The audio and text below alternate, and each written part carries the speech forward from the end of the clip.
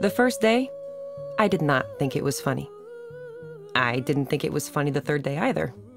But I managed to make a little joke about it. The most unfair thing about this whole business, I said, is that I can't even date.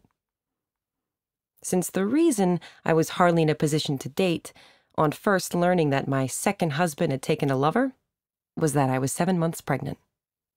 I got a laugh on it, though for all I know, my group was only laughing because they were trying to cheer me up. I needed cheering up. I was in New York, staying in my father's apartment. I was crying most of the time. And every time I stopped crying, I had to look at my father's incredibly depressing walnut furniture and slate gray lamps, which made me start crying again.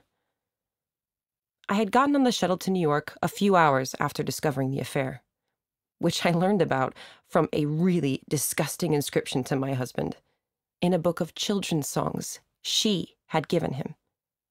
Children's songs. Now you can sing these songs to Sam, was part of the disgusting inscription, and I can't begin to tell you how it sent me up the wall. The idea of my two year old child, my baby, involved in some dopey, inscriptive way in this affair between my husband, a fairly short person, and Thelma Rice, a fairly tall person with a neck as long as an arm and a nose as long as a thumb, and you should see her legs, never mind her feet which are sort of splayed. My father's apartment was empty, my father having been carted off to the loony bin only days before by my sister Eleanor, who is known as the good daughter, in order to differentiate her from me. I'd stayed there often in the past year because we were broke. When Mark and I got married, we were rich. And two years later, we were broke. Not actually broke. We had a country house in West Virginia and a city house in Washington, and we had things. God, did we have things? We just had no money. It was always mystifying to me, but now, of course, I understand it all a little better. Because the other thing that ate our money was the affair with Thelma Rice. Thelma went to France in the middle of it, and you should see the phone bills.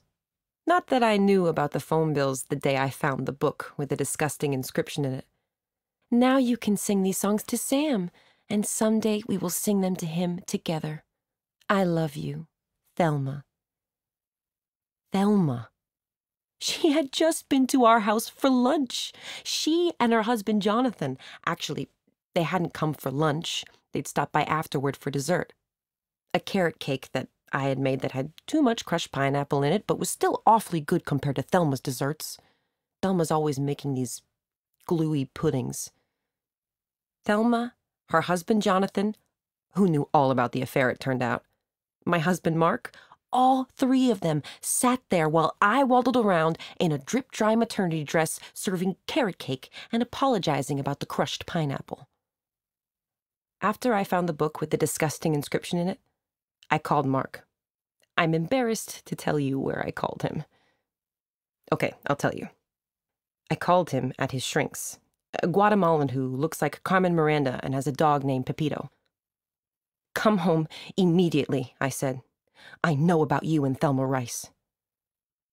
Mark did not come home immediately. He came home two hours later because. Are you ready for this? Thelma Rice was also at the shrink's. They were having a double session at the family rate. I did not know this at the time. Not only did Thelma Rice and Mark see Dr. Valdez and her Chihuahua Pepito once a week, but so did Thelma's husband, Jonathan Rice, the Undersecretary of State for Middle Eastern Affairs. And that man has something to do with making peace in the Middle East. When Mark finally came home, I had rehearsed a speech about how I loved him and he loved me and we had to work at our marriage. Really the perfect speech for the situation. Except that I had misapprehended the situation. I am in love with Thelma Rice, he said when he arrived home. That was the situation. He then told me that although he was in love with Thelma Rice, they were not having an affair, That's a lie, I said to him. But if it is true, you see, there was a part of me that wanted to think that it was true, even though I knew it wasn't. The man is capable of having sex with a Venetian blind. If it is true, you might as well be having an affair with her. Because it's free. Some time later, after going on saying all these lovey dovey things about Thelma, after saying that I was a shrew, and a bitch, and a nag, and a kvetch, and a grouse, and that I hated Washington, the last charge was undeniably true. He said that he nonetheless expected me to stay with him. At that moment, it crossed my mind that he might be crazy. I sat there on the couch with tears rolling down my face and my fat belly resting on my thighs. And when Mark finished his 16th speech about how wonderful Thelma Rice was compared to me, I said to him, You're crazy. You're wrong, he said. He's right, I thought. I'm wrong. Well, we went around in circles, and then he asked me if I wanted to be alone for a while. I guess he wanted to drive over to Thelma's to tell her that he had held fast to their love. He drove off, and I scooped up Sam, called a taxi, and left for the airport. One thing I have never understood is how to work it so that when you're married, things keep happening to you. I do love the everydayness of marriage. I love figuring out what's for dinner and where to hang the pictures and do we owe the Richardsons. But life does tend to slow to a crawl. The whole summer, Mark was seeing Thelma Rice. I was cooking. That's what I do for a living. I write cookbooks. And while I did discover a fairly revolutionary and absolutely foolproof way to make a four minute egg, and had gotten to the point where I simply could not make a bad vinaigrette, this was not exactly the stuff of drama. Even now, I cannot believe Mark would want to risk losing that vinaigrette. You don't just bump into vinaigrettes that good. The point I want to make is this I sat on that plane to New York in a state of total misery. Yet part of me was thinking, okay, Rachel Samstat, finally something is happening to you. The next morning, the doorbell rang. I had been up all night, waiting for Mark to turn up to say it was all a terrible mistake. I flung open the door to tell him I never wanted to see him again, but I might consider coming back under certain circumstances. And who should it be? But Jonathan Rice, the Undersecretary of State and my partner in cuckoldom. I burst into tears, and we fell into each other's arms. Oh, Jonathan, I said, isn't it awful? It's awful, he said. What's happening to this country? Jonathan never takes anything personally. He always sees himself as a statistical reflection of a larger trend in society.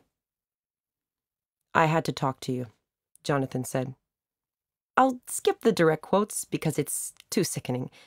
In less than 24 hours, I'd had to listen to two grown men talking like saps about Thelma.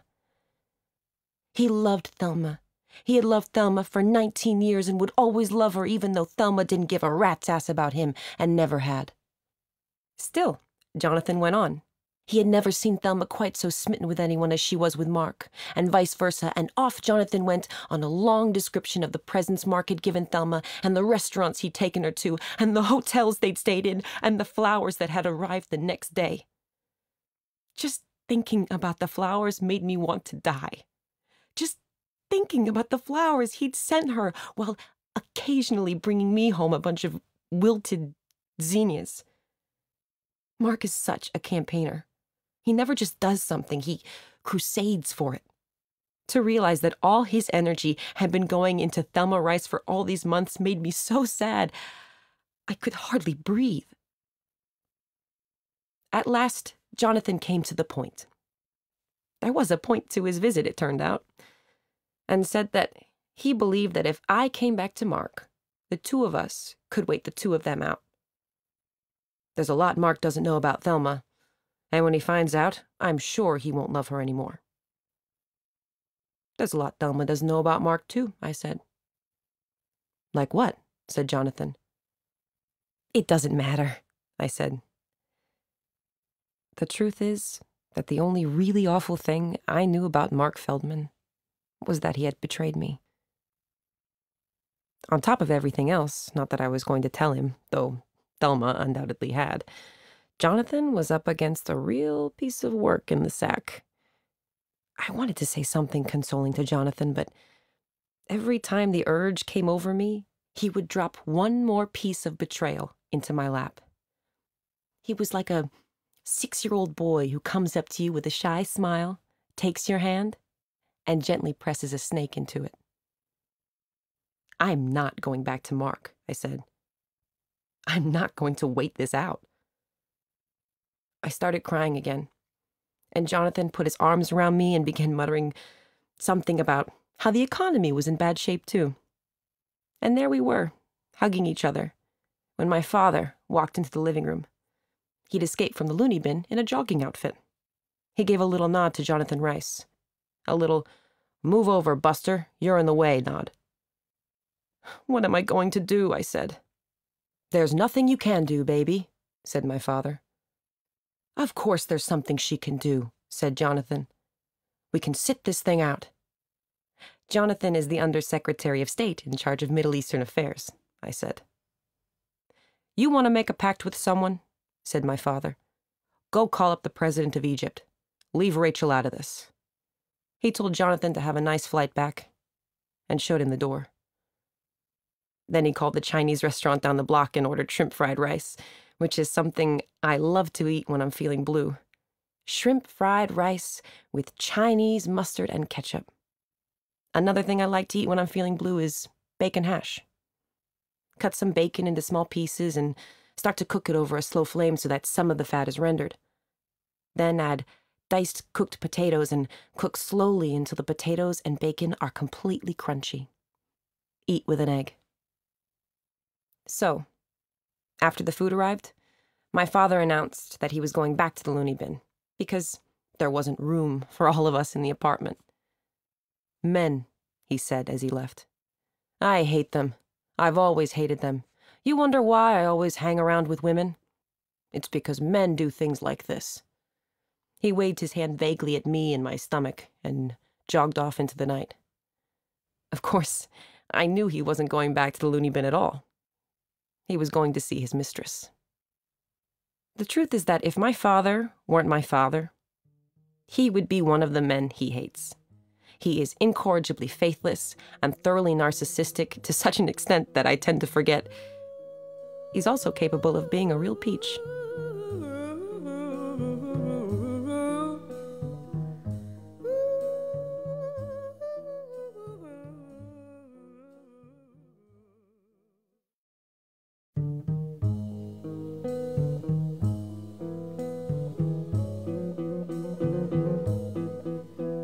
The shock of catapulting from the peanut butter and jelliness of my life into high drama was so great that the first morning I woke up, I was honestly stunned to discover it wasn't all a bad dream. By the second morning, I'd given up on that. I woke up and lay there, watching the baby inside me make waves on my belly, and wondered what would become of me. Where would I live? How much money would I need? Who would sleep with me? This last question interested me deeply because I couldn't imagine that I'd ever be my normal shape again. I will be seven months pregnant forever, I thought, as the tears started to drip slowly into my ears, with a belly button that looked like a pumpkin stem and feet that felt like old cucumbers. If pregnancy were a book, they would cut the last two chapters. You suddenly find yourself expert in mysteries you hadn't expected to comprehend until middle age. Mysteries like swollen feet, varicose veins, acid indigestion, and heartburn. Heartburn. That, it seemed to me, was what I was suffering from. That summed up the whole mess. Heartburn compound heartburn, double digit heartburn, terminal heartburn. I took the subway to group. I sat down, remembered to twist my diamond ring inward so the muggers wouldn't see it, and tried to concentrate on how I was going to tell the group what had happened to me. Two years earlier, I had walked off into the sunset. Cured! It's a miracle! She can walk! And now I was back again, a hopeless cripple. I looked around the subway car, and a man in a plaid shirt looked at me and winked. I immediately wondered whether he was single, and if so, whether he was a college graduate and straight.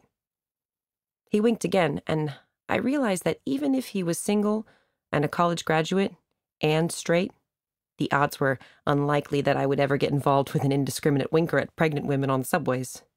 Then, in case he was a mugger and knew how to recognize a diamond ring, even when it was turned inward, I twisted the ring off and cleverly dropped the ring into my bra. The subway came to Union Square, and I walked to Vera's office. Vera was sitting at the low, round table, opening the containers of food. Vanessa was there, and Ellis and Eve and Diana and Sydney and Dan. And they clucked over the photographs of Sam and asked when the new baby was due, and looked truly horrified when I told them why I was there.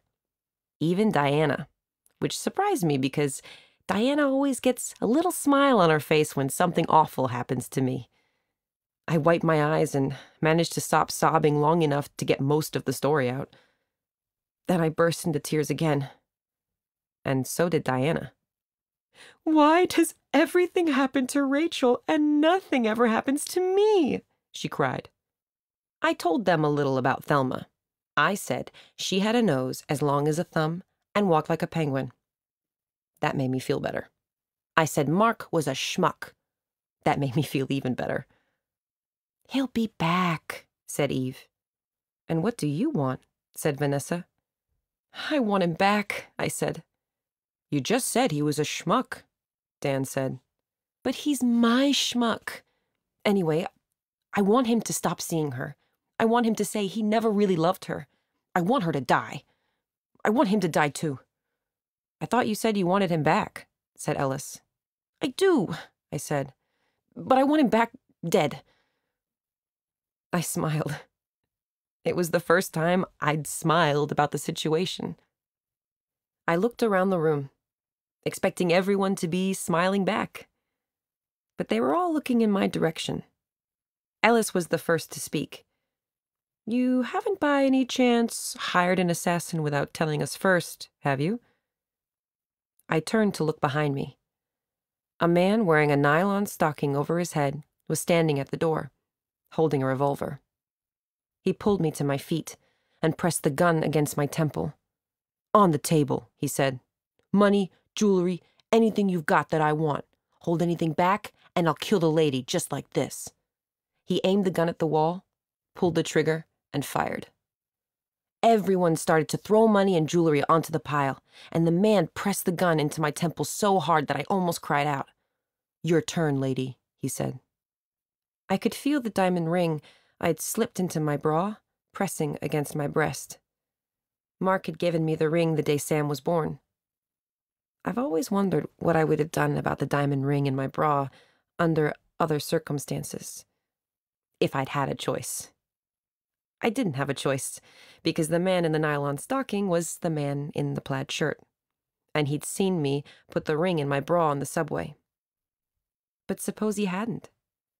Would I have risked my life to hold on to the ring?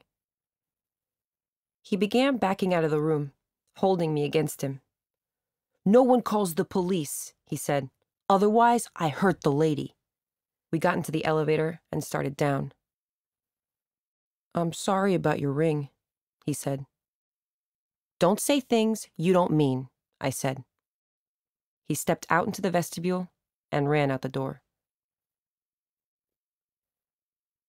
I met Mark Feldman at a party in Washington at my friend Betty Searle's. I recognized him the minute he walked in. Once you see that beard, you never forget it. Black with a little white stripe in it. I've always liked odd and interesting men because I'm odd and interesting looking myself. Mark is a syndicated columnist. He writes about Washington as if it's a city like any other, It's not. Filled with rich and interesting characters. It's not. Stay away from him, Betty said. Why? He's trouble, she said. Please don't throw me in the briar patch, I said.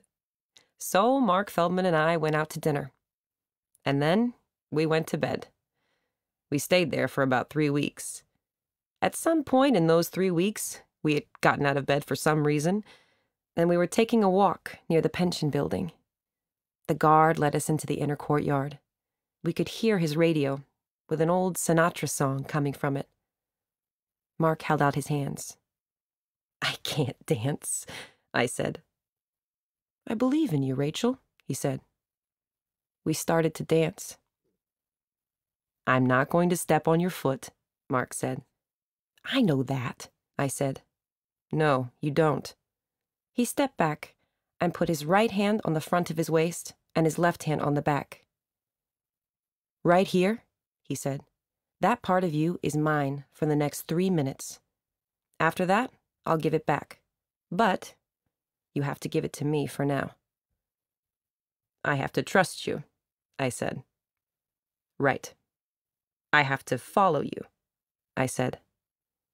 Right. Oh, God, I said. You can do it, Rachel, he said, and he put his arms out again. I closed my eyes, and I relaxed. People are always telling me to relax the hairdresser, the dentist, but the only time I think I've ever really relaxed in my entire life was for three minutes in the pension building dancing with Mark Feldman. I'm dancing, I said. I love you, he said. So we were in love. We were madly in love. We flew back and forth on the Eastern Shuttle, and I became best friends with his best friends, and he became best friends with my best friends. And then one day I came down to Washington and walked into his apartment and found a Virginia Slim cigarette butt in an ashtray. Mark said it was the maid's. I pointed out that the maid smoked Newports. Then he said it was his sister's. I pointed out that his sister had stopped smoking.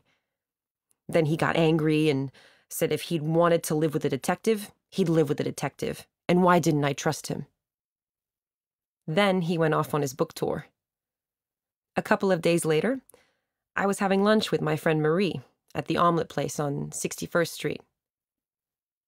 I met Mark in Chicago, Marie said, at a party. And? He seemed nice, Marie said. She started playing with her ratatouille filling. Marie? I keep thinking about it, Marie said. You know, if it were reversed, what would I want you to do? What do you think? I think it takes two people to hurt you, I said. The one who does it, and the one who tells you. So I flew down to Washington and collected my things, and had a big fight with Mark in which he accused me of the thing men think is the most insulting thing they can accuse you of wanting to be married. And that was that. The next man I was involved with lived in Boston. He taught me how to cook mushrooms. If you heat the butter very hot and put just a very few mushrooms into the frying pan, they come out nice and brown and crispy. Whereas if you crowd the mushrooms, they get all mushy and wet. Every time I make mushrooms, I think of him. There was another man in my life when I was younger who taught me to put sour cream into scrambled eggs, and since I never, ever put sour cream into scrambled eggs, I never really think of him at all. Two months passed. I was perfectly happy. And Mark turned up. Mark turned up, full of repentance and bearing gifts. He said he wanted to marry me. He asked me to marry him on the IRT downtown local, and he asked me to marry him on the 49th Street crosstown bus. He spoke of babies. Forever and ever. There were two reasons I didn't want to marry Mark. First of all, I didn't trust him. And second, I'd already been married. Mark had already been married too. His first wife was named Kimberly. As he always said, she was the first Jewish Kimberly. My first wife, the first Jewish Kimberly, Mark would begin, was so stingy she made stew out of pancakes. My first husband was stingy too, but that was the least of it. My first husband was so neurotic, he kept hamsters. The reason my marriage to him broke up was not because he slept with my oldest friend, or even that he got crabs from her. It was because when his hamster Arnold died, he took him to one of those cryogenic places and had him frozen. I mean, what are you supposed to do with a first husband like that? I'll tell you what, divorce him. So, for a long time, I didn't believe Mark. And then I believed him. I believed in change. I believed in redemption. I believed in Mark. My marriage to him was as willful an act as I have ever committed. I married him believing that marriage doesn't work, that love dies, that passion fades. And in doing so, I became the kind of romantic only a cynic is truly capable of being. I see all that now. At the time, though, I honestly believed that Mark had learned his lesson. Unfortunately, the lesson he learned wasn't the one I had in mind. What he learned is that he could do anything. And in the end, there was a chance I'd take him back.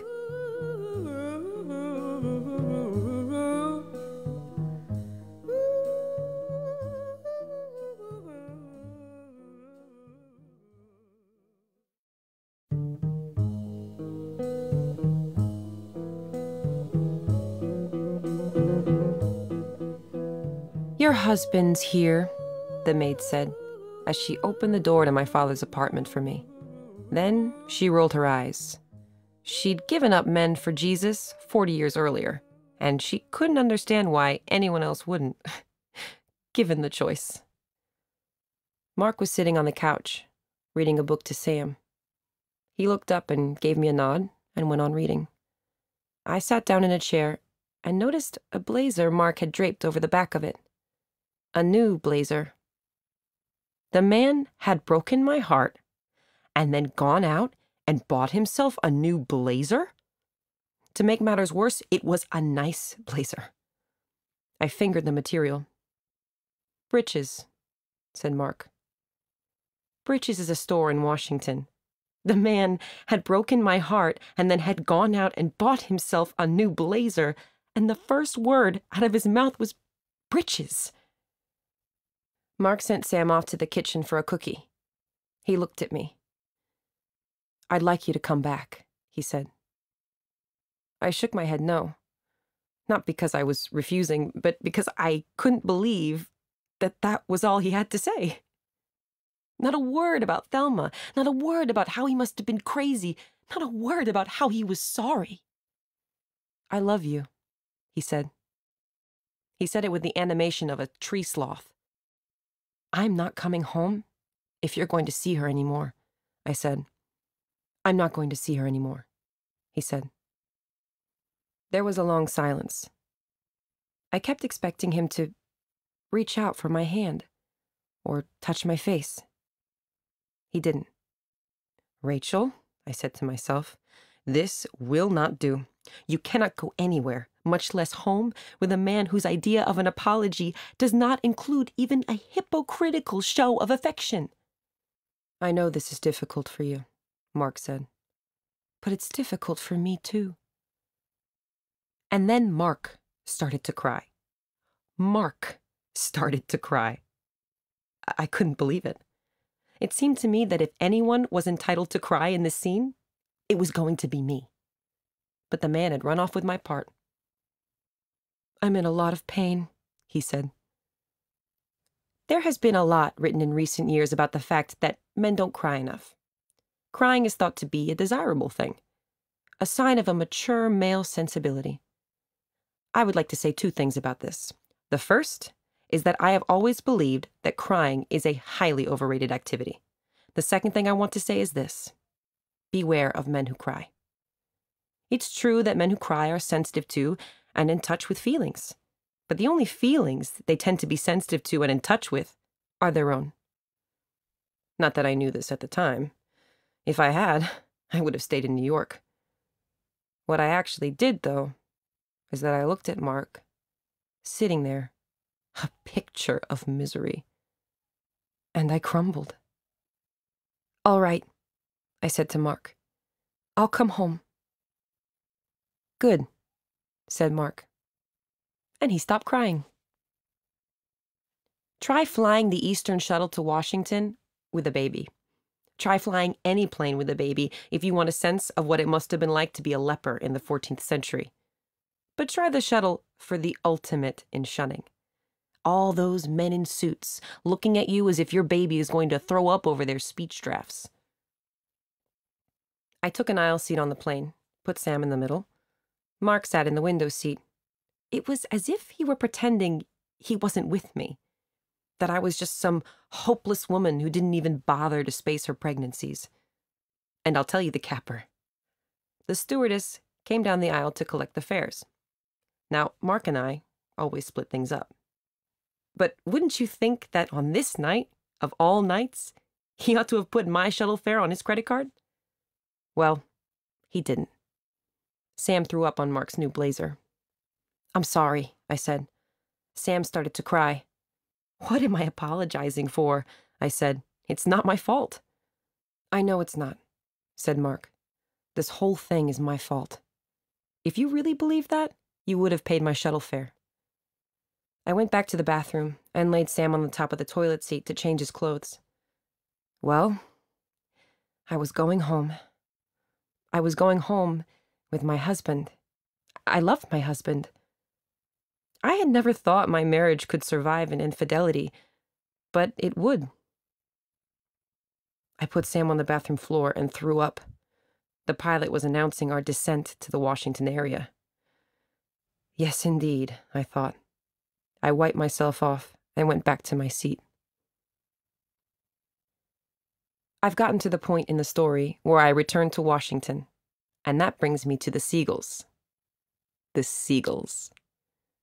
Arthur and Julie and Mark and Rachel, the Siegels and the Feldmans. It's not just that we were best friends. We dated each other. We went steady. We saw each other every Saturday night and every Sunday night, and we had a standing engagement for New Year's Eve. Our marriages were tied together. We went to Italy, we went to Ireland, we went to Williamsburg, we went to Montreal, and Mark drove, and I navigated, and Julie suggested wrong turns, and Arthur fell asleep. Two of us like dark meat and two of us like light meat, and together we made a chicken. I suppose that I honestly believed that if I couldn't save our marriage, the Siegels could, which is why I called them from New York the night I discovered Mark's affair. They were shocked. They were astonished. With Thelma Rice? Julie said on the phone. Oh my God. That dickhead, said Arthur. He's gone crazy.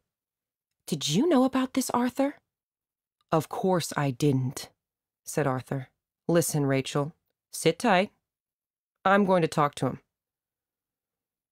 So Arthur and Julie will take the power of our friendship and club him into submission, I thought.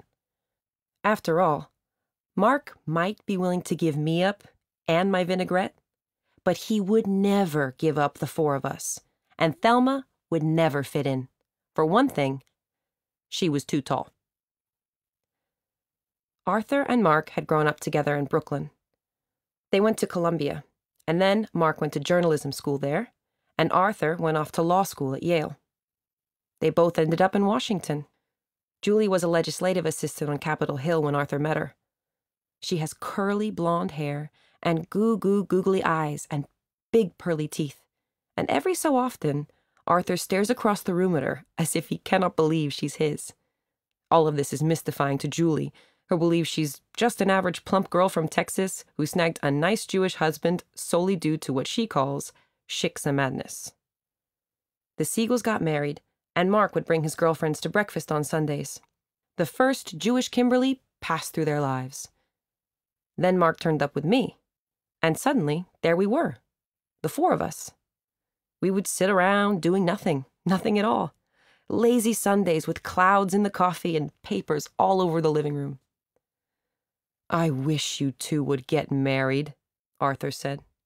Arthur, for God's sake, said Julie. I can't help it, said Arthur.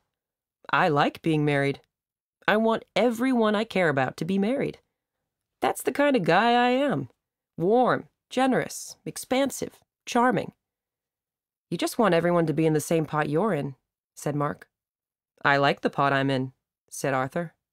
I like how it goes along. What's for dinner and what movie should we see and where are my socks? Where are your socks? said Mark. Where are my socks? Where are all the missing socks? They're in heaven, said Arthur. You die, you go to heaven, and they bring you a big box, and it's got all your lost socks in it and your gloves, and you get to spend eternity sorting them all out. I think there's a column in this, said Mark. Mark and I got married. You should have seen Arthur at the wedding. He had done it. He had talked Mark into it. By the simple example of his own contentment, he had persuaded his best friend to give up bachelorhood. At the end of the ceremony, Arthur whooped around the room and danced the Kazatsky. Three months later, I was walking through the park, and there were Arthur and an unidentified female in a mad clinch on the park bench. I just feel betrayed, I said to Mark. Never mind Julie. He's cheating on us. You know what I mean? I know what you mean, said Mark. One of the things I love about you is that you know what I mean even when I don't, I said. Actually, I don't, said Mark. I just say I do. Two nights later, Arthur rang the bell in the middle of the night and announced that he was in love. Listen to me, Mark said. You've been married eight years. You've got a kid. Don't throw it away. You know how old you have to be before you stop wanting to have sex with strangers? said Arthur. Dead. That's how old. Doesn't stop. It doesn't go away. You put all this energy into suppressing it and telling yourself it's worth it because of what you get in exchange. And then one day, someone brushes up against you and you're 14 years old again. But you don't do anything because you're not going to be that kind of person. So you go home, and there's your wife, and she wears socks to bed. Socks again, said Mark. On and on they went. It was late, two in the morning, three in the morning. Marriage was a trust, Mark said. Betray that trust and you have nothing, he said. I felt so smug.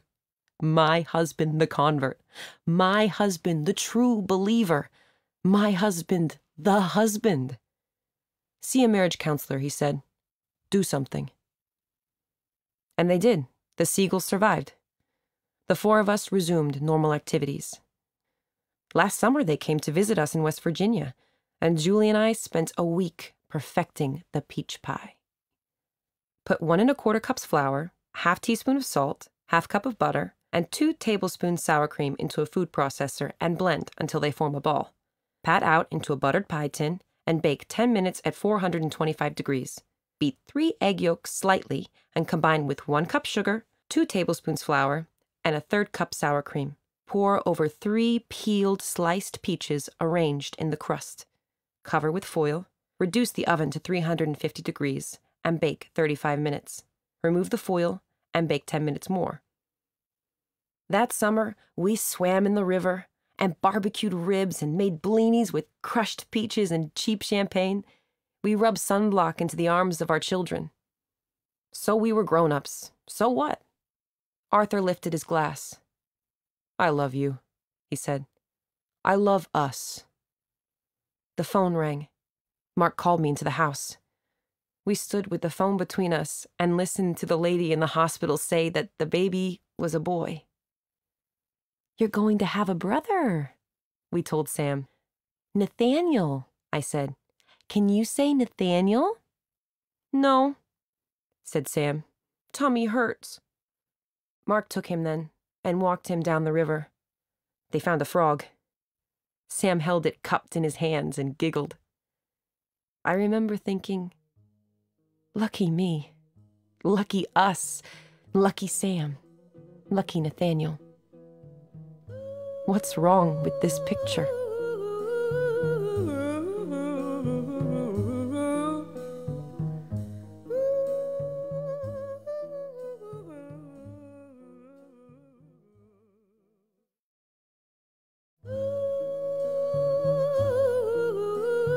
The morning after Mark and I got back to Washington, I went up to my office. I must write all this down, I thought. But I couldn't. To write it down was to give it permanence, to admit that something real had happened. I walked around the room trying to pretend that nothing had happened. I thought about potatoes. The first time I made dinner for Mark was potatoes. I must make some potatoes tonight, I thought mashed potatoes.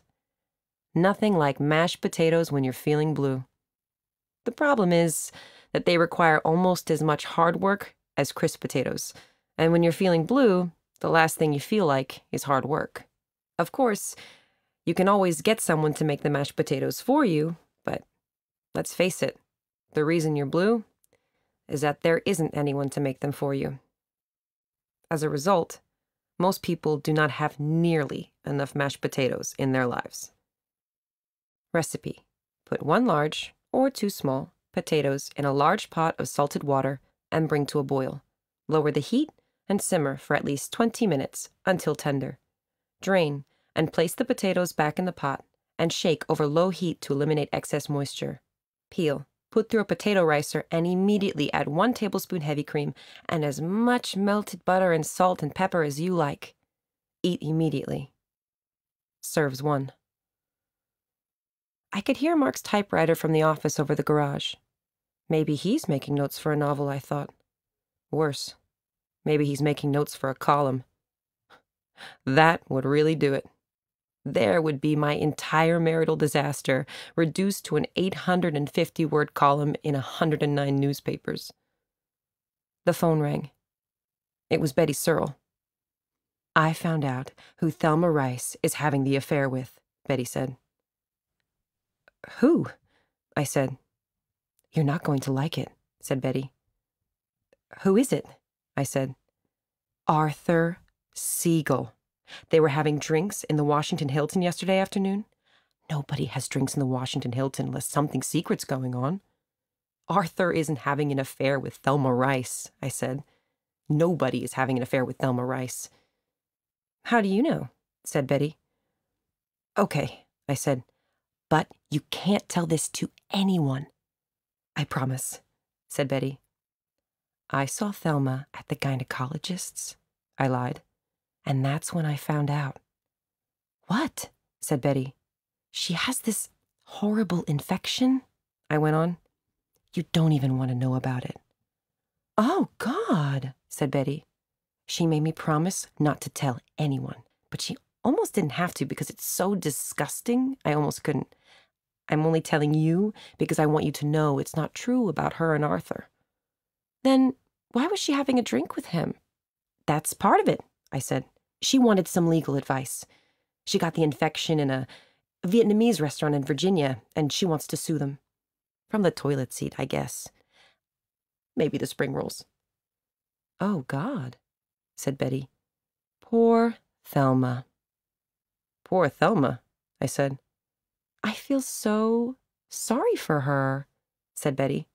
Don't feel too sorry for her, I said. It's curable. Eventually. The first night back, I made shrimp curry.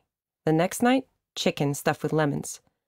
Mark and I sat at dinner and made conversation. The word desultory applies. We talked about everything except what had happened. I tried not to cry. I tried hard not to ask where he went in the afternoon. At one point, Mark asked me how I made my vinaigrette, but I wouldn't tell him. I figured my vinaigrette was the only thing I had that Thelma didn't, besides a pregnancy. And I could just see him learning it from me and then rushing over to her house and teaching her the wrist movement and dancing off into a sunset of arugula salads. I must seem to be putting too much emphasis on this vinaigrette of mine. But war is war. On Tuesday morning, I took the shuttle to New York for my food demonstration. Normally, I enjoy them, but I was about halfway through when I realized I was in trouble. I've written about cooking and marriage dozens of times, and I am very smart on the subject. But I realized, as I stood there, in the middle of Macy's housewares department, that I had been as dopey about food and love as any old fashioned Jewish mother. I love to cook, so I cooked. And then the cooking became a way of saying, I love you. And then the cooking became the easy way of saying, I love you. And then the cooking became the only way of saying, I love you. I was so busy perfecting peach pie that I wasn't paying attention. I always thought cooking was part of the package. Step right up. It's Rachel Samstat. She's bright, she's funny, and she can cook. I got so depressed and angry thinking about all this that I gave the onion an enormous whack and sent it flying, right into some lady's literary guild tote bag. Everyone laughed, and I tossed my head blithely as if it were the sort of thing I do all the time. And that's when I saw Richard. Richard is my producer. I love being able to say things like that. Richard Finkel, who produced my television show, is tall and red haired and cannot see even with his glasses on. As if he weren't obvious enough already, he began to wave wildly at me, and I immediately felt better. I love Richard. Richard and I had one of those affairs that you begin by saying, We're making a big mistake. And what you mean by that is not that you're getting in over your head, but that you're just killing time. Richard and I killed a little time and then went back to being friends. Then I started seeing Mark, and Richard started seeing Helen. And things got complicated. Richard never really liked Mark, and I didn't really like Helen. That was the complication. Helen is one of those people who never say anything.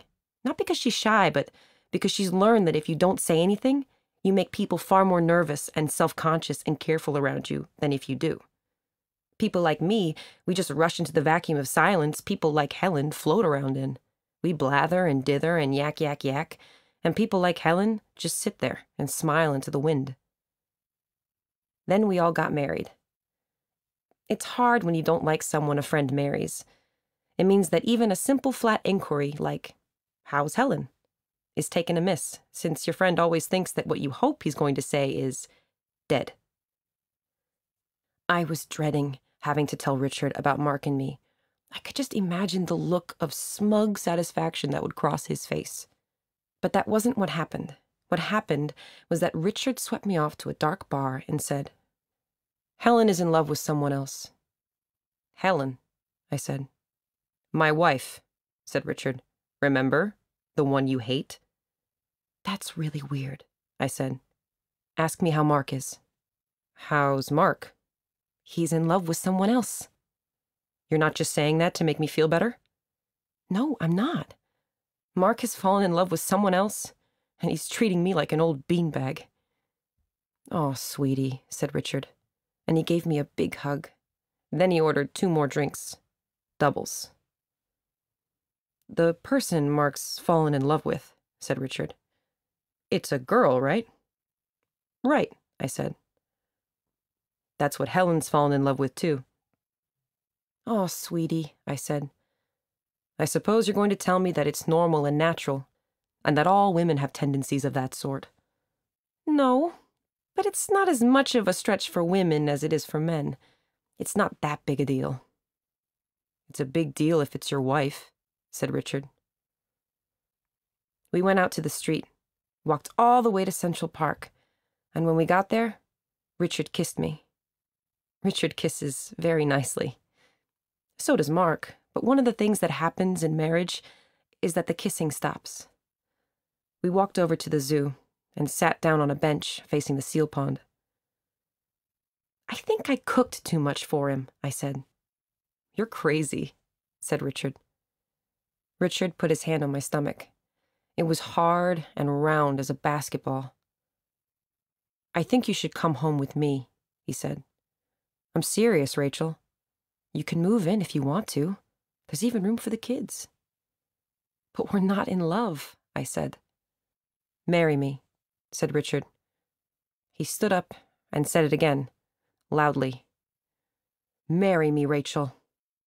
There were a dozen people sitting on benches and wandering around the seal pond, and I could see them turning to watch. I mean it, Rachel, said Richard, very loudly now. I want to marry you. I should have married you in the first place. Marry him, Rachel, shouted a young man sitting two benches away. Give the kid a father. There was a cheer from a couple on another bench, and scattered laughs. Do you want to bring a child into the world under these circumstances? Richard shouted. He was moving toward the seal pond now, and he jumped onto the parapet surrounding it. Marry me, Rachel. I'm constant. I'm immutable. I'm probably drunk. But I mean every word of this. When I say forever, I mean forever. And if you want me to sit down and stop shouting at you and making a public spectacle of myself, you'll have to say yes. There was a huge cheer from the spectators. Richard raised both hands in the air in a victory salute. Marry me, he shouted, and you will never have to set foot in the city of Washington again. Marry me, and you will never again have to listen to someone tell you who he thinks the next assistant foreign editor of the Washington Post is going to be. He tossed his head and smiled in what I'm sure he thought was an extremely handsome gesture. Then he turned around and leapt backward into the seal pond. There was a huge flapping of flippers. Then everyone ran to the fence and watched as Richard swam several circles around the pond in a perfect Australian crawl, and then pulled himself up to dry on the rocks. Think it over! he shouted to me, and then fell backward in a mock collapse. About a minute later, he was arrested by the park police for disturbing the peace. He was extremely good humored about it. They took him to the precinct in the park and wrote out a ticket and sent him home. I made him some eggs and put him to bed. Rachel, said Richard. It had nothing to do with how much you cooked for him. It had nothing to do with how much you wanted to be a couple. It had nothing to do with you. It must have had something to do with me, I said. Why? said Richard. Because if it didn't, there's nothing I can do about it. That's my point. I know that's your point, I said, but I can't accept it. Well, if you ever do, said Richard, you ought to do what I did. I feel much, much better. Are you suggesting I ask someone I'm not in love with to marry me and then jump into the seal pond? I'm suggesting that you make a wild and permanent gesture of size, said Richard and mine was to ask you to marry me and jump into the seal pond. Yours can be anything you want. The only wild and permanent gesture of size that has ever crossed my mind, I said, is to have my hair cut. You'll think of something, said Richard, and when you do, I'll be here. Then he smiled and fell asleep.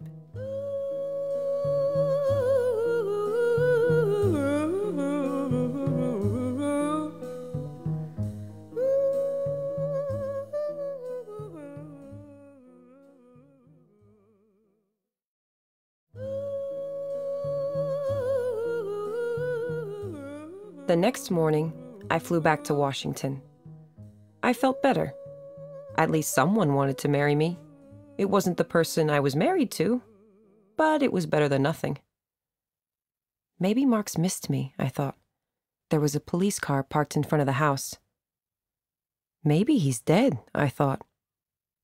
That wouldn't solve everything, but it would solve a few things. He wasn't, of course. They never are. When you want them to die, they never do. Mark was sitting in the living room with two Washington policemen. They had come to return my diamond ring. The New York police, they explained, had caught the perpetrator and he had confessed. I started to put the ring back on my finger, but the diamond was loose in the setting. A sign. I showed it to Mark. He glared at me. Another sign.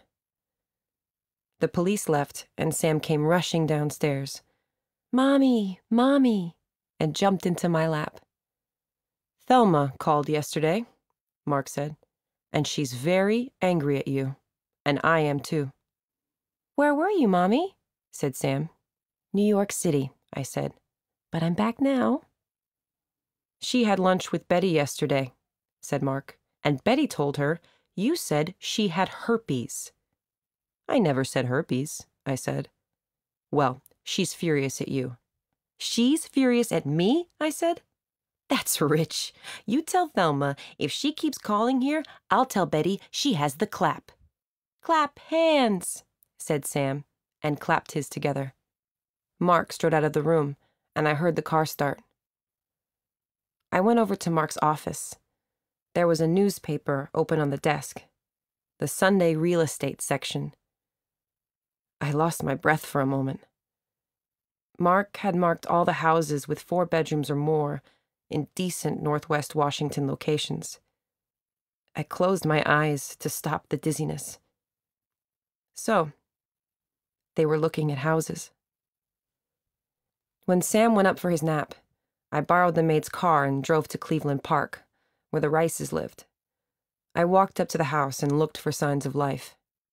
There was a body lying face down on the ground under a rhododendron bush. Jonathan Rice. Maybe he's dead, I thought. Jonathan was, it turned out, lying there trimming the rhododendrons with a pair of electric hedge clippers. He turned them off and sat up. You really shouldn't have said that thing about the herpes, you know, he said. Thelma is very angry. And they're looking at houses. And a few months after you have the baby, Mark and Thelma will move in. He thinks he can get joint custody. I was having trouble breathing again. I put my hand on my stomach. Jonathan, I said, but Jonathan had turned on the clippers again. Jonathan, I said, I'm in labor. I don't remember very much. I remember Marvin, my obstetrician, explaining that the baby is in the transverse position, another cesarean is indicated. He was cutting now, far, far away. A flutter kick, a noise like a tiny cough, a tiny cry. Nathaniel. So, Nathaniel was early. I could hardly blame him. Something was dying inside me, and he had to get out. There were complications. Nathaniel was on the eighth floor of the hospital, with tubes and monitors stuck all over his little froggy body, and I was on the fifth, with tubes and monitors all over mine. Mark came to the hospital every day. Every day, except for Thelma's birthday. On Thelma's birthday, he called to say he had to go to New York for an interview. I know it was Thelma's birthday because Betty called the next day to tell me all about it. It seems that Jonathan Rice had planned a surprise birthday lunch for Thelma, and everyone gathered in the restaurant, ready to pop out from under the table. But she never turned up. Can you imagine? said Betty. I'm afraid I can, I said. I wish I could figure out who she's sleeping with. It's probably Mark, I said. Betty laughed. Rachel, wait till I tell that to Mark, she said. It'll kill him. I went home. Nathaniel stayed in the hospital. Both of us got stronger. I behaved myself. I did not say, How are you? How are we? Do you still love her? Do you love me at all? Are you still thinking of buying a house with her? What did you get her for her birthday? Is it over with her? Is it ever going to be over? Two weeks passed. Betty called. She asked if we wanted to come to dinner. We have lobsters, she said. You bring dessert. Bring one of your key lime pies. So on Saturday afternoon, I went out to buy the pie ingredients. On the way, I passed the jewelry store where Mark had bought me the diamond ring, and I remembered that I hadn't yet taken it in to have it fixed. Leo Rothman, the owner, buzzed me in and gave me a big kiss. I told him about the robbery, and he said it would just take a minute to reset the stone. We were making conversation, chit chat, nothing much. He said, Did I know the diamond in the ring was a perfect stone? He said it wasn't the kind of diamond I'd ever have trouble selling if I ever wanted to. I said I was glad to hear that. He asked me how I liked the necklace. The necklace, I said. Leo looked up, and the loop dropped from his eye. I must be thinking of another customer, he said. No, you're not, I said. I knew Mark bought something while I was in the hospital. So, he had bought her a necklace for her birthday. I was lying in the hospital with a tube up my nose, and he had bought her a necklace. That rascal, I said. But now I know what to be prepared for. There's nothing worse than opening a box with a necklace in it when you're not in the mood for a necklace. I kept talking. I couldn't stop. Leo finished resetting the stone and handed the ring back to me. The diamond caught the afternoon sun and made a rainbow on the wall of the store. How much would you give me for the ring? I said. Leo looked at me. You don't really want to sell it? I really want to sell it. It doesn't go with my life. If you've got a ring you can't wear on the subway, What's the point of having it? And Mark's so romantic, he probably spent every penny of his savings on the necklace. Leo nodded. For the down payment, he said. For the down payment, I said. It's a beautiful necklace, said Leo. Now I'll have a necklace I won't be able to wear on the subway either, I said. How much for the ring? Fifteen thousand, Leo said. My heart started to pound. I realized I had just been given the means to walk out of my marriage. Fifteen thousand it is, I said to Leo. I went home. I was speechless. I said nothing, nothing at all, for several hours. At eight, Mark and I took the pie to Betty's. It was just us me, Mark, Betty, and Dimitri, whom Betty lives with. Mark and Dimitri went into the kitchen to boil the lobsters, and Betty and I sat in the living room.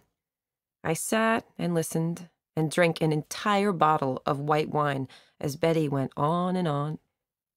I don't remember the conversation. I do remember realizing that no one seemed to be noticing that I hadn't said anything the entire evening, and that no one seemed to mind. I must try this again, I thought.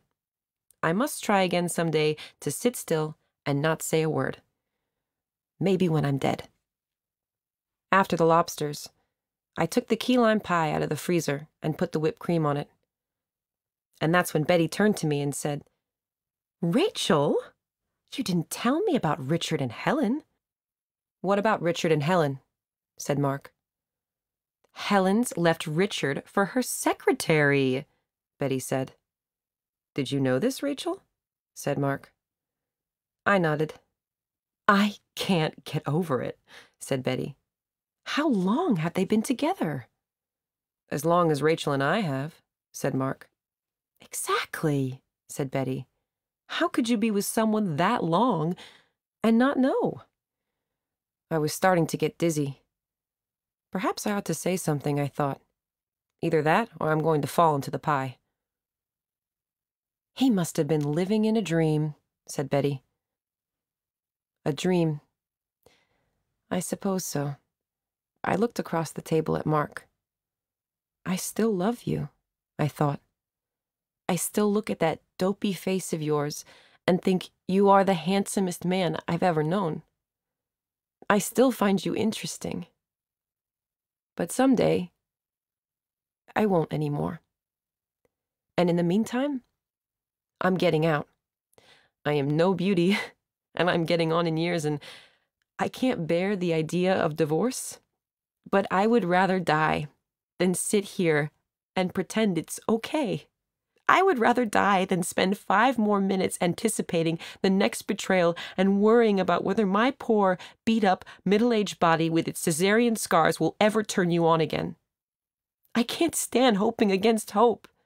I can't stand sitting here with all this rage turning to hurt and then to tears. I can't stand not talking. I looked at the pie sitting in front of me, and suddenly it began to throb. They were talking about the State Department now. If I throw this pie at him, I thought, he will never love me. And then it hit me with a shimmering clarity. He doesn't love me. I picked up the pie, thank God for the linoleum floor, and threw it. It landed mostly on the right side of Mark's face, but that was good enough. The cream and the lime filling clung to his beard and his eyelashes. I started to laugh. Mark started to laugh too. I must say he handled it very well. He wiped himself off and said, I. I think it's time for us to go home. My last day in Washington, I checked with the pediatrician that Nathaniel could go to New York when he got out of the hospital the next day. Then I came home and started dinner. I made a bouillabaisse and creme brulee, and in between there was a salad. And I taught Mark to make the vinaigrette. Mix two tablespoons Grey Poupon mustard with two tablespoons good red wine vinegar. Then, whisking constantly with a fork, add six tablespoons olive oil until thick and creamy. We got into bed, and Mark put his arms around me. He fell asleep. I lay there. Two years earlier, when I had been pregnant with Sam, Mark would sing me a song every night. We called it the Petunia Song. Mark would make up a different tune and lyrics each time. I sing to you, Petunia, I sing a song of love, even though you are bigger than the last time I sang the Petunia song to you. You get the idea. Really dumb, but every time Mark sang it, I felt secure and loved in a way I had never dreamed possible. I had always meant to write down some of the words, but I never did. And now, I couldn't remember them. I could remember the feeling, but I couldn't really remember the words. Which was not the worst way to begin to forget.